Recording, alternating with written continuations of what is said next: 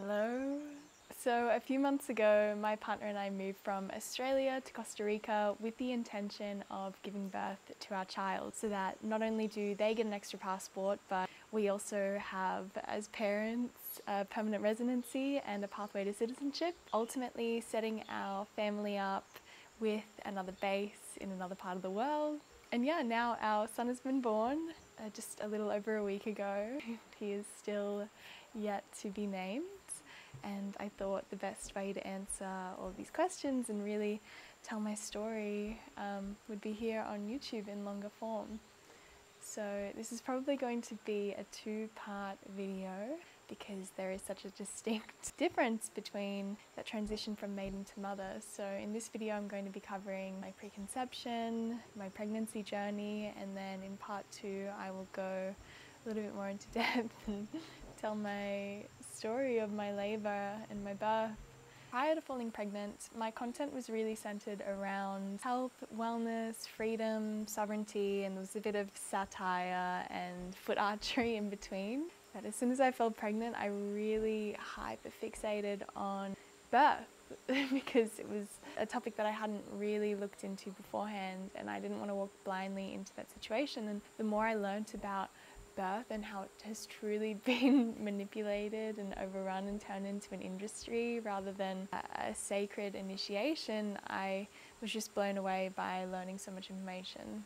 But yeah, now that we have had this uh, process, I am looking forward to returning back to those topics a little bit more because they are things that I really am passionate about. And I built my audience uh, up with these topics in mind, not just the pregnancy content. So this video I think is going to act as a really nice tie, uh, not of loose ends, but like a bit of closure after a long journey. Now I feel like I can return to a bit more of my old self and explore more of my new self as I navigate this journey. So I will begin with uh, preconception and the preparation that I did. I've had so many questions about who's the father, you know, what kind of supplements are you taking, was this planned, all of those very intimate questions.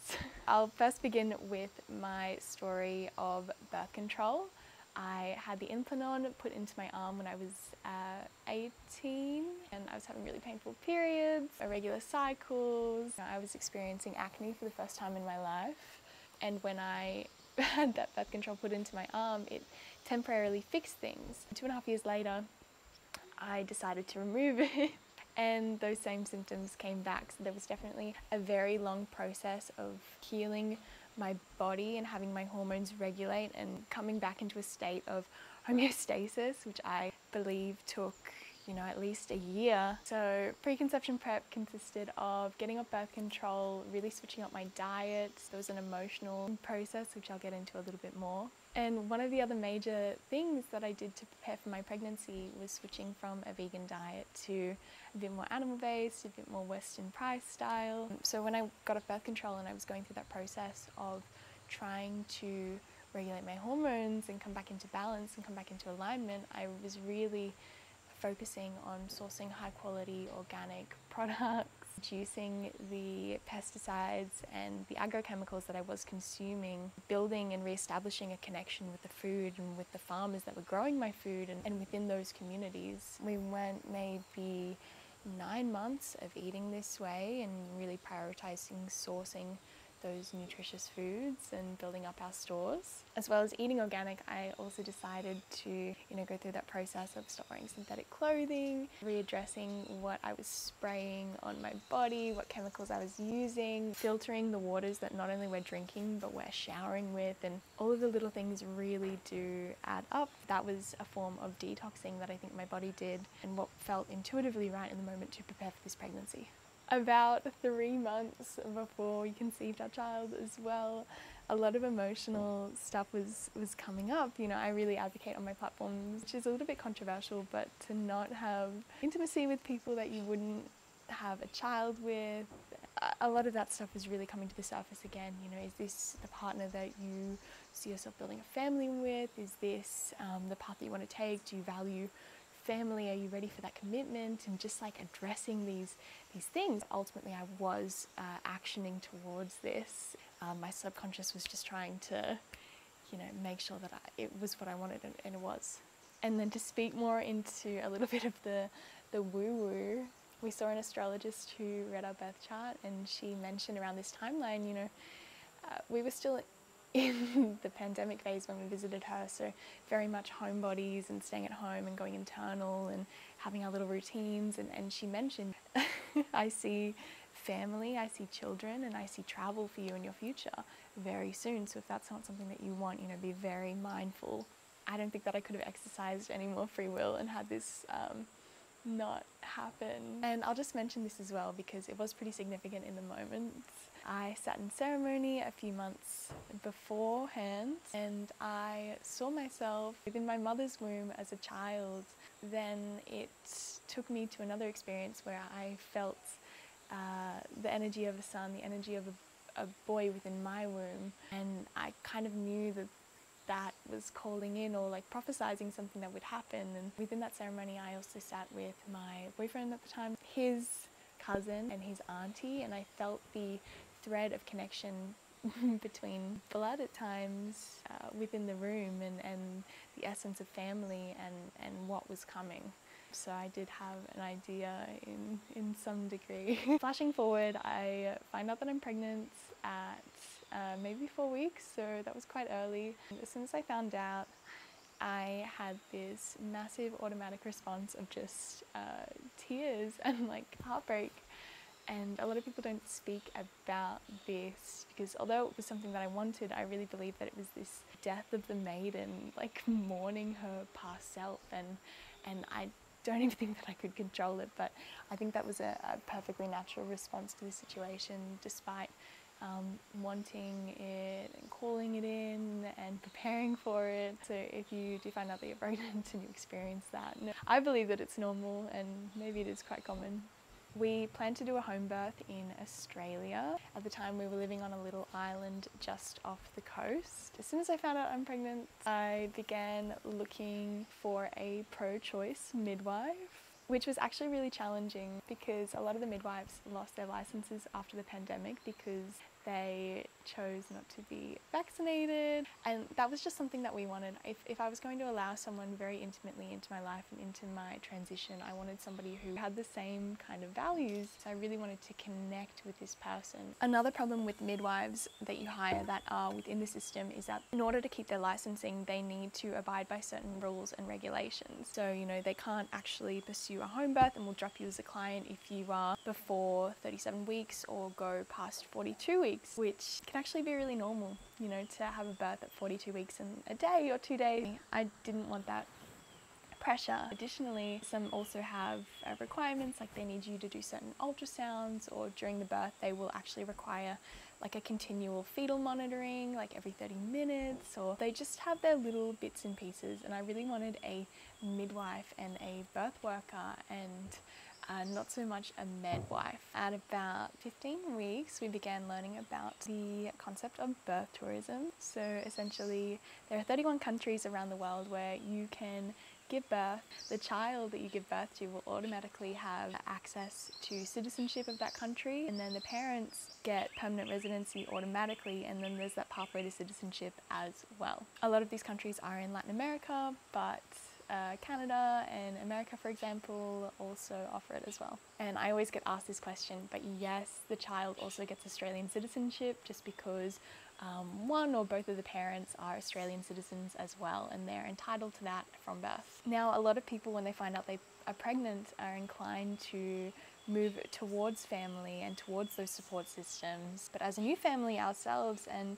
given what we've witnessed over the last three years, we felt as though really important to us to begin expanding our collection of passports and you know setting up bases in multiple places around the world so you're not tied down to just one jurisdiction for your work, your residency, your citizenship, being totally dependent on, on one system.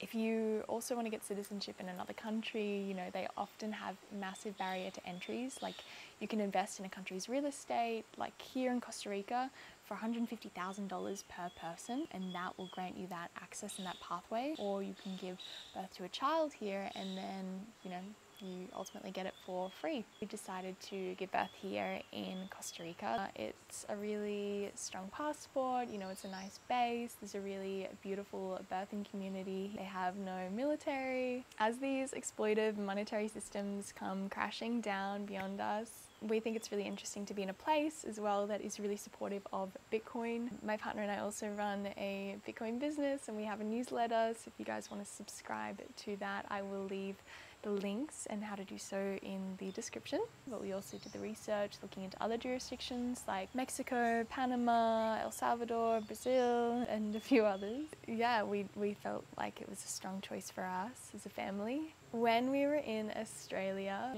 hello, nice little day nap. We ended up connecting with a midwife here in Costa Rica and we jumped on a Zoom call with her. And from the moment we spoke, I just knew that things felt right. What I wanted for my birth was something that she could really support. I entertained the idea of free birthing, but ultimately, you know, women have been witnessing each other's births for forever. I didn't necessarily want to do things alone. I just wanted to find care providers and people who could hold the space and support me and really put my needs and my bodily autonomy and not be bound to any outdated uh, concepts or routines. I visited a few care providers in Australia and there was a lot of fear mongering around home births and I really believe that birth is safest where the mother feels most comfortable and safest and for me that was with someone who was medically trained in the comfort of my own home who also could be as hands off as I wanted and just let me go through that process and support the hormones that make birth, you know, an enjoyable and a natural experience. So I met my beautiful midwife, Jamie, via Zoom, and she was just the most amazing midwife to work with and, and I really consider her a good friend of mine and someone who shared such an intimate moment in my life and so that was obviously very important to us, as well as finding a location for the home birth. We found this place through a Telegram group, and the lady who owns it for us, she's also a beautiful friend of mine. She is a doula, and she was so, so happy to have a birth happen here on her farm. And that was really important to me, finding a space where the birth could be welcomed, and I'm not finding somewhere on Airbnb and, and trying to like hide the fact that I was, you know, gonna give birth there and, and all of these things. So, so working out those two things before we moved over here was super, super important for us. So at 18 weeks pregnant, we flew, or we tried to fly from Australia to Costa Rica, but we didn't realize that they still had uh, vaccine mandates. So the flights that we booked initially had a one hour layover in the States and then was going to go to Costa Rica. When we arrived at the airport in Brisbane, they basically said, you know, do you have your vaccine passports and papers? We just overlooked that. Some sources online said that you didn't need it for just layovers, but once we got to the airport, because we booked flights so last minute, they said, yeah, you guys aren't allowed to, to, to come on the plane. We were turned away at the airport and then we had like a week and a half to reassess how we were going to get to Costa Rica and how we were going to to do this. So we ended up booking flights from Brisbane to Dubai, I don't know, to Madrid, and then finally to Costa Rica. So we did a full global trip to avoid the USA. It felt amazing to finally arrive in Costa Rica a couple of weeks later, you know, in my third trimester, so I could really just like relax and surrender and build a space and and go through this initiation like that.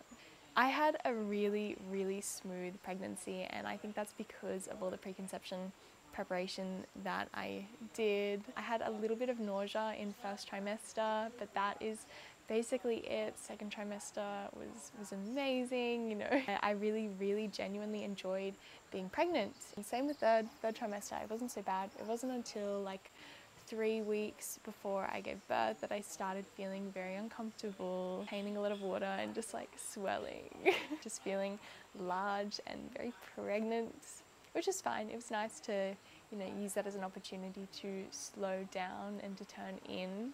Uh, I was taking a prenatal, uh, an organic one that I got from uh, like a little health food shop in Australia, and then I was taking beef liver supplements and then also vitamin C. I was getting in my daily sunlight, doing a little bit of movement, and generally being out in nature.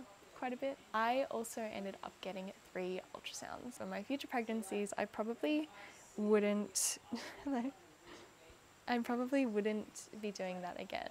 So I got my first one at nine weeks because I was like, you know, really uninformed and thought, you know, uh, I'm pregnant, what do I do? So I went to the doctors and they were like, oh yeah, you know, ultrasound. And then it told me my uh, estimated due dates.